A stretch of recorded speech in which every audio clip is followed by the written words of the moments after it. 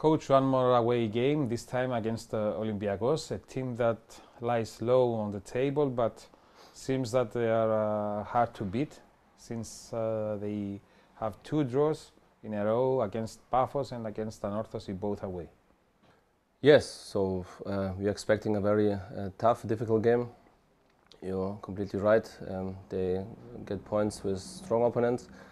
Their behavior that they play, um, they defend with all the team. They defend very compact, um, quite similar like it was uh, against AEL, but more deeper and with uh, more players behind in the last line. So it will be very very difficult and.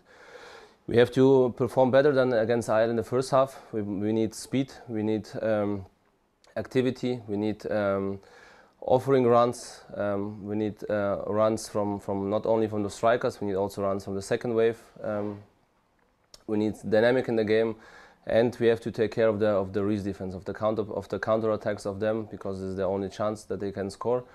And yes, so we we spoke about that. Um, I think now the, the the the thing is clear. We have to go. We lost points against AEL. We are now, I think, in the fourth place, um, three points behind Apoel, and uh, we need to win this game.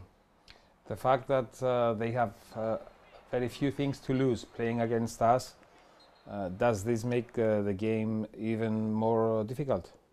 Yes. So if I if I if I go in the role of the of the Olympiakos players and now Aris, a very good team comes, so I will be motivated till the end because I want to provide me.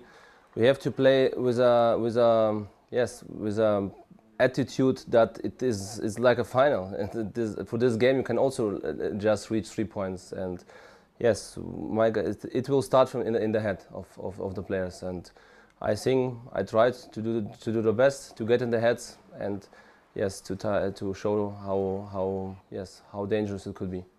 But as you said, uh, you, we have to be improve at least uh, in regards uh, scoring, because it was the only game against AEL that we didn't manage to score.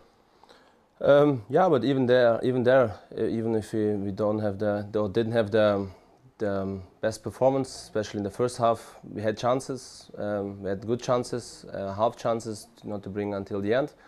And um, yes, so the target is now to create much more chances, and yes, from this more many chances to use at least one or two. So, but for creating the chances, we need activity from all the players, and yes, and the patience also the patience, the desire to yes to win the balls, to to make the runs, to go for the counter pressing.